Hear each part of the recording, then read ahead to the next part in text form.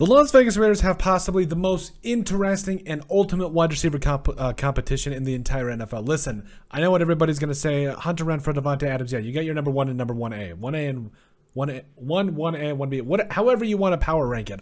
The point is, the rest of it is kind of up for debate. It's definitely uh, been a very interesting offseason, uh, you know, for uh, the Raiders and their wide receiver competition. I really can't even, uh, I can only use my insufficient vocabulary to tell you how encapsulating it's been. Honestly, uh, you know, I don't think we I, we, I don't think we've seen Derek Carr at all this preseason. We haven't seen uh, a lot of these players that I would really like to see, but it is what it is at this point. I'd really like to see how the rest of this Raiders offense is going to mesh. However, however, I think a bigger thing to take away here is who is going to be that guy on the inside, whether it's Hunter Renfrow on one side and Davante Adams, or if they're both on the same side. But who is going to be that guy that stepped up, steps up as that number three?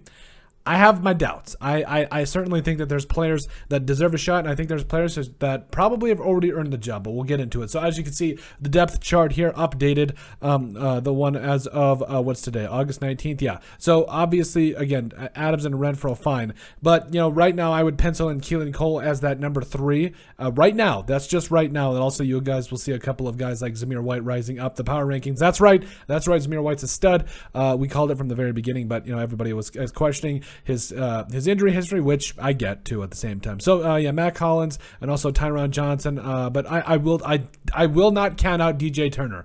I put out a video, you know, I, and I will stand on the hill for DJ Turner, saying about the fact this man is coming for that number three wide receiver position, because the way I see it is this. We all you already have two guys that can stretch the field that have that are probably the best route runners in the NFL. You need that speedster. You need that guy that's going to come in there and do some different things. I believe they had also let go of what was it Demarcus Robinson earlier in the week. But the point is, you need that guy that's going to stretch the field. Again, I'll go back to that play where DJ Turner scored that what was it that 34 yard touchdown against the Vikings. You had you had a seam route and then you had a shallow cross that turned into a big play because DJ Turner is that dude. So you know there is so many different things uh, going on. This is really the ultimate wide receiver competition because you've got all guys, honestly, uh, whether it's Keelan Cole, Tyron Johnson, Mack Hollins, Justin Hall, or excuse me, uh, you know, he's also been pretty good as well. But DJ Turner, um, you know, I, I, feel like, you know, those four guys are really vying for, you know, that number three spot. Um, you know, obviously, again, Keelan Cole's probably going to win it, um, you know, but again, you're probably going to go six deep, maybe a wide receiver. I would, I, I think at this point, this is the way I look at it.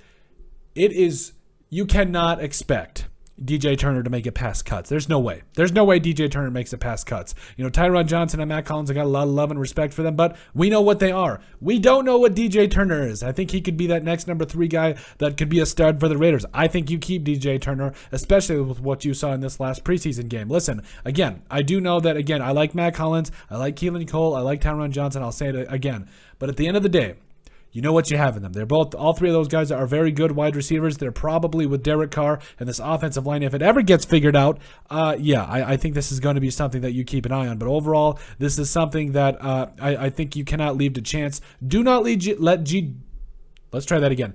Do not let DJ Turner get out of the building. That's the way I see it. Because again, you know, you got a guy that's speedy. He runs good routes. He's got good hands. He's probably going to win the punt return uh, job here for the Raiders as well. I don't think you can let him walk because at the end of the day, um, you know, you've got too much talent uh, on this uh, in one particular young man that I think you cannot let just walk out the building. But let us know what you guys think. Make sure you guys like and subscribe down below. Leave a like and a comment. It helps people find the show. Greatly appreciate all the support that we've gotten and continue to get. You guys are all truthfully awesome. We love every single one of you. Down in the description below, say hi to Frank too, the football back there. It's Franklin. If you know your football, uh, your football companies, your football brands. Anyway, but let us know what you guys think uh, about the Las Vegas Raiders having the ultimate wide receiver competition.